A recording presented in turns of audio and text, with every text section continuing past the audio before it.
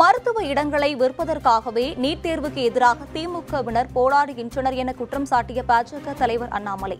தேர்தல் வாக்குறுதிகளை தொன்னூற்று ஒன்பது சதவீதம் நிறைவேற்றிவிட்டதாக முதலமைச்சர் பகல் கனவு கண்டு கொண்டுள்ளார் என விமர்சித்தார். பாஜக மாநில தலைவர் அண்ணாமலை என் மண் என் மக்கள் என்ற தலைப்பில் திருச்சி மாவட்டம் துறையூரில் நடைப்பயணம் மேற்கொண்டார். பேருந்து நிலையத்தில் தனது பிரச்சார வாகனத்தில் பொதுமக்களிடையே உரையாற்றிய அவர் திமுக ஆட்சியாளர்கள் மணல் கொள்ளையில் அதிக அளவில் ஈடுபடுகின்றனர் எனவும் தன் குடும்பம் மட்டுமே நன்றாக இருக்க வேண்டும் என்ற ஒரே நோக்கில் திமுக ஆட்சி செயல்பட்டு வருவதாகவும் குற்றம் சாட்டினார்.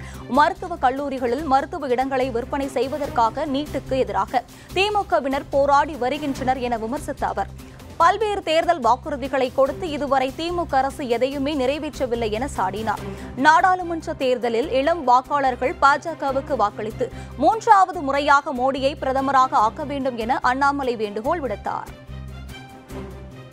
நீட்டு மூலமாக அரசு மருத்துவக் கல்லூரியில சாதாரண குடும்பத்தினுடைய குழந்தைகள் இன்னைக்கு மருத்துவர் கனவு நனவாகி கொண்டிருக்குது ஐயா. தனியார் மருத்துவக் கல்லூரிக்கு சென்று டொனேஷன் கொடுக்க வேண்டும் கேபிட்டேஷன் ஃபீ கொடுக்கணும் எதுவுமே அவசியம் கிடையாது.